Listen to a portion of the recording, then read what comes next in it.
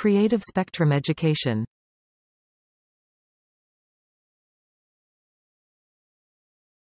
How do you say no in Indonesian? Tidak. Tidak. Try to pronounce the word.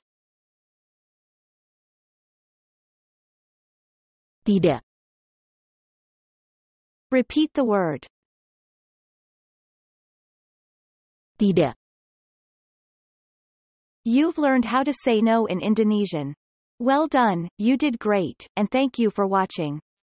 Consider subscribing if you like our videos. You can also support us, so that we can keep making educational content. Feel free to visit the donation link to our website.